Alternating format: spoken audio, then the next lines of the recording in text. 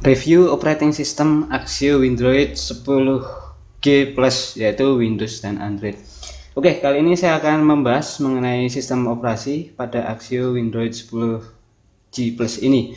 Seperti yang sudah-sudah sebelumnya, bagi Anda yang mempunyai komentar silahkan tinggalkan komentar Anda pada kolom komentar di bagian bawah dan jangan lupa bantu saya dengan klik tombol like dan subscribe untuk berlangganan. Loh, belum tenang serai belum. Ini baru mulai.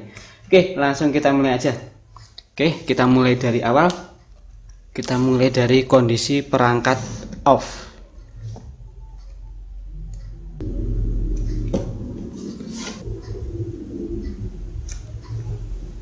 Dengan membawa konfigurasi yang sama yaitu dual boot jadi kita bisa ada menu pemilihan booting antara Windows atau Android.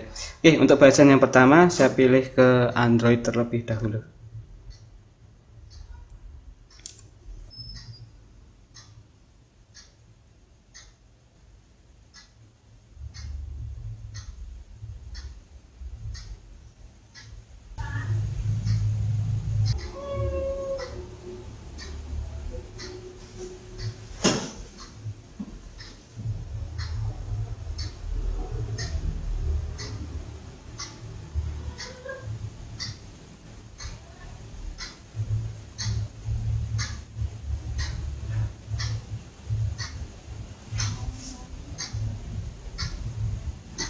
Oke, ini sudah boot pada Android.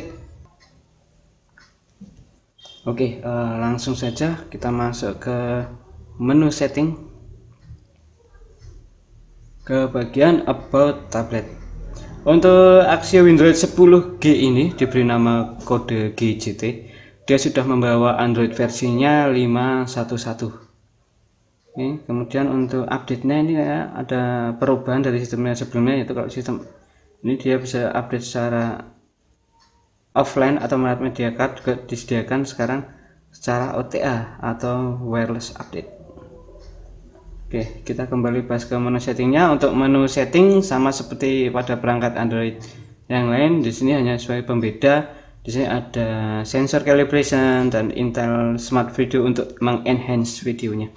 Oke kemudian eh, kita intip pada bagian storage untuk storage yang disediakan pada mode Android kita seperti biasa menemui storage itu hanya 4 GB ya, tidak bisa di apa namanya masih bisa ditambah dengan eksternal tapi untuk penyimpanan ke eksternal tidak dimulai harus melakukan metode root. Kalau ini sudah saya bukan ke penyimpanan eksternal yaitu micro SD SD card.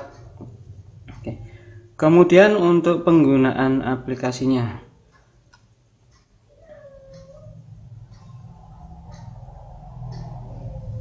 Oke, jadi ini device memory untuk penggunaan dari OS-nya itu sangat kecil, jadi masih lapang lah untuk menginstal membikin beberapa menginstal aplikasi yang lain. Oke, untuk menunya sendiri masih standar, uh, tidak ada perubahan, ada sedikit tambahan sedikit bloatware dan yang lain-lain karena ini difungsikan sebagai Android PC dia juga juga ada disematkan bawaannya seperti yang sebelumnya yaitu Quick Office untuk keperluan pengolahan dokumen. Jadi seperti itu. Kemudian untuk hasil skor benchmarknya setelah saya tes kemarin adalah untuk Antutu benchmark dia mendapatkan skor 49.493 sangat impresif sekali untuk tablet ya di harga rentas itu ya oke sangat maklum lah masih masuk. Dan untuk menikmati di mode Android ini saya biasanya menikmati adalah mode tablet karena lebih cuman memang agak seperti kegedean untuk ukurannya. Dan untuk handlenya di sini agak sedikit terganggu oleh tombol kapasitif karena tombol kapasitif ini berfungsi sebagai home. Oke sebetulnya sering kepencet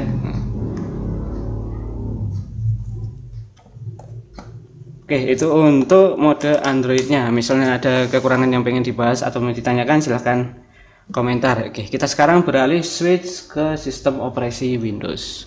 Untuk yang versi ini sama seperti versi sebelumnya menyediakan opsi untuk boot ke Windows. tadi ada boot to Windows kita your micro PC will boot to Windows oke okay.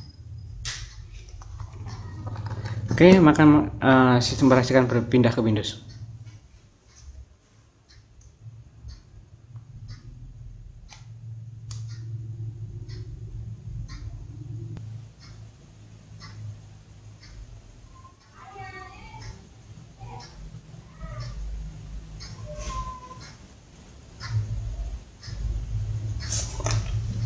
Oke.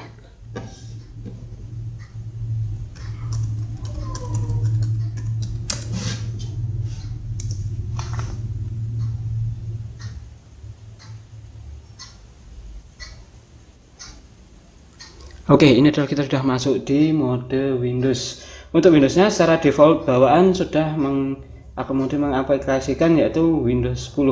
Kalau yang sebelumnya hanya Windows 8 terus di upgrade. Saya sudah mulai ke Windows 10 untuk dari performa uh, di Windows 10 ini ya masuk dalam kategori lumayan karena speknya sama saja seperti pendahulunya hanya dibedakan mungkin dari tampilannya untuk performa cukuplah uh, untuk menghandle kemudian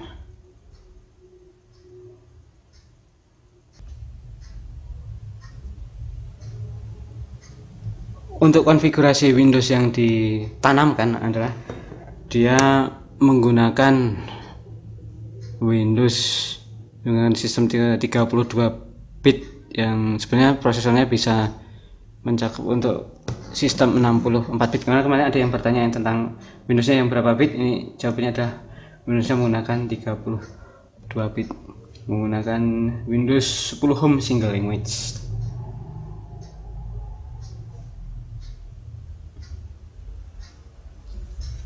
Oke, yang menjadi catatan cukup unik adalah secara defaultnya uh, di versi Windows ini kita diberikan uh, Office yang versi kecil yaitu Office Mobile.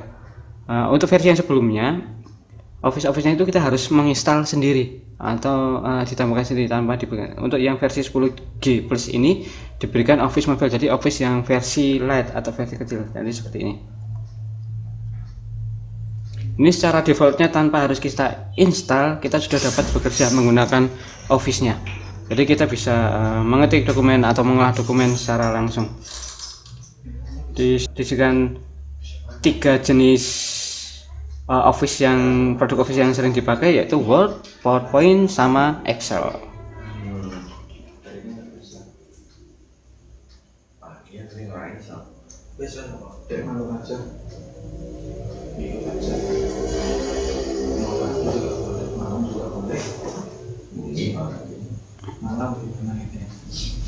Ya.